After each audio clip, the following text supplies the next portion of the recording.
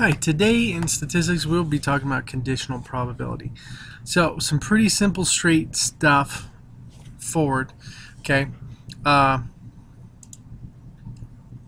the new notation is going to be this A uh, absolute value bar B. Okay, and that's going to be uh, find the probability of A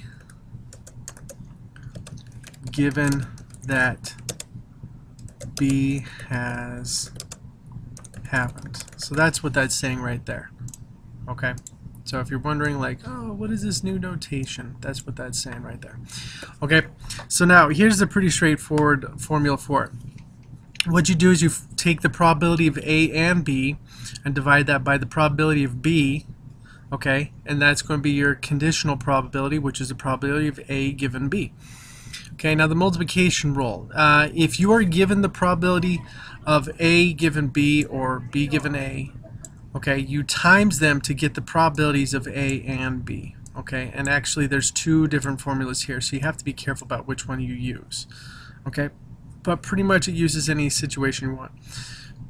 Now, if you wanted to use the right notation for the intersection uh, formula, you would just use this one right here. This is just the, the intersection. This is just and. Okay?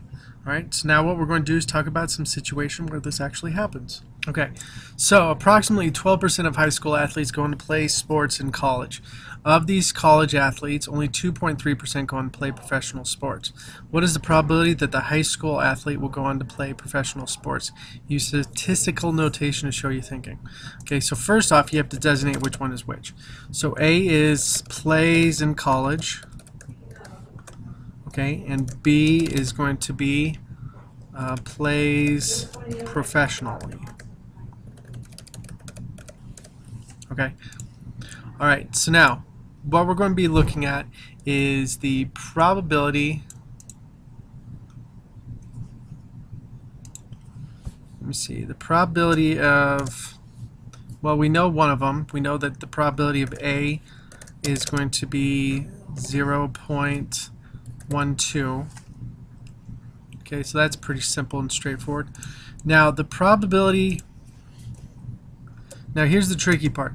The probability of B given A is given to us, surprisingly, because we know that they've already been in college, so of these college athletes, so we know that they're college, 2.3% go on.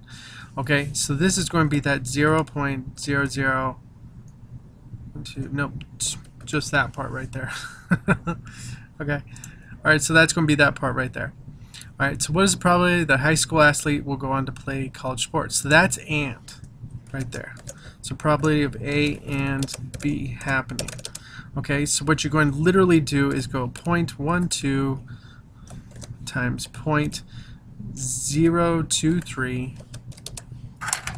Right, if we check on our calculator, 0.12 times 0.023. Okay, that means that you have about 0 0.00276, which is the same as about 0.276% chance of getting into professional athletes from high school. Okay, so that's the kind of cool thing about conditional probability is it helps answer these tough questions that a lot of people have. Okay, all right, that's it for conditional probability. Please take your time and ask if you have any questions. Okay, bye.